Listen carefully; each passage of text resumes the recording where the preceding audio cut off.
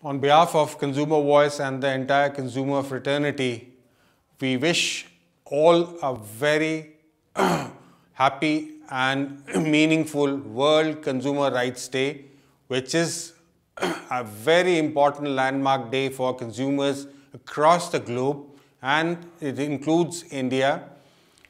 The mission or the flag for this year is sustainable consumption.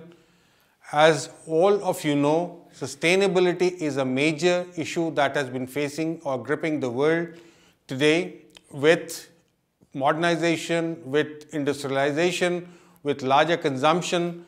This has become a subject of contention to deal with and consumer organizations today are working on this subject on a very focused footing.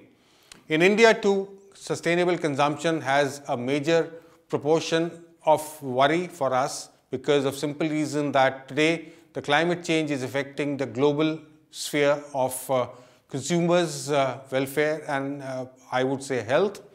And a large country like India with 1.36 billion people have a role to major role to play in terms of sustainability, environmental protection and CO2 emission if this world has to be protected and consumers' health have to be protected.